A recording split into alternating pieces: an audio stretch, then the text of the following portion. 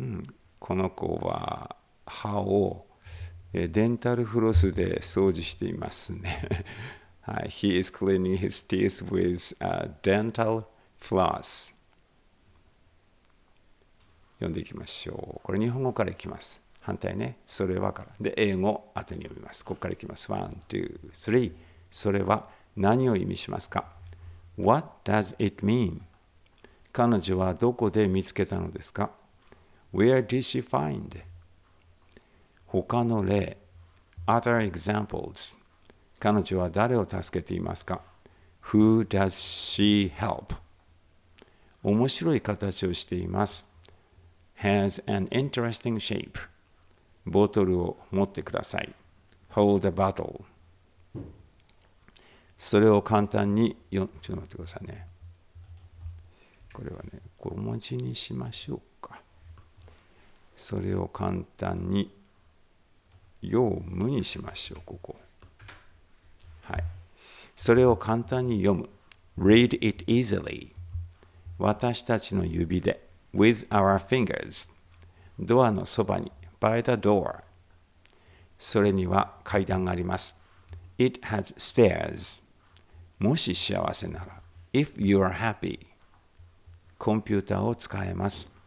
Can use the computer 車椅子に乗って in a wheelchair 重いバッグを引く pull a heavy bag 見てください look at これらのボトルボトル these bottles どれがあなたのものですか which is yours それらを見てください look at them 慎重に使用してください use it carefully それらには隆起がありますあの、ボツボツのことね、これね。They have bumps. ブラインド文字があります。ちょっと待ってね。これブラインド文字。これは、えっと、展示だ。展示。この展示です。展示があります。It has the braille. 別の例。Another example. ユニバーサルデザインの例のっていうのはこのオフね。後ろから訳してきてこういきます。An example of universal design 私は確信しています。I'm sure that 見つけることができます。can find 私たちの周りに around us それは意味します。It means 私たち全員にとって for all of us 私の町に in my city 彼女を見つけました found her 例えば for example 高齢者 the elderly 赤ちゃんを持つ人々 people with babies 小さな男の子たち small boys 買い物に行くとき when you go shopping スーパーマーケットで at a supermarket 機械式のドア a mechanical door え、っとね、これね、変えようかな。ここ。ちょっと変えちゃいます。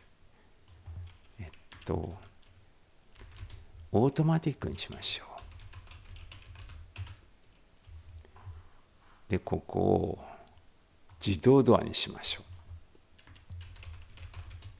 あ、このドアじゃないね。これ自動じゃないね。だね。じゃあもう一回いくね。自動ドア。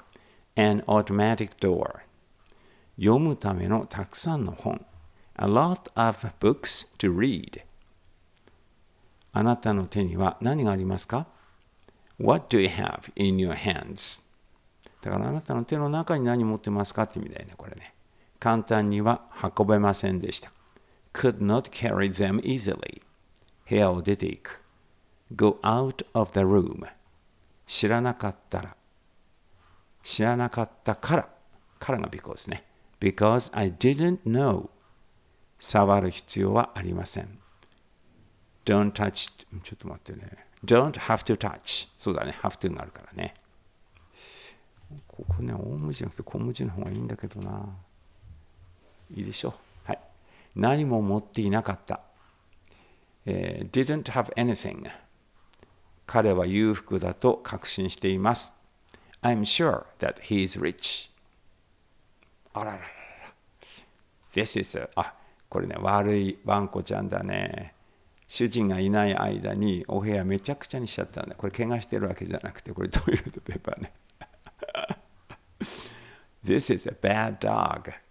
He messed around the room while the owner was out.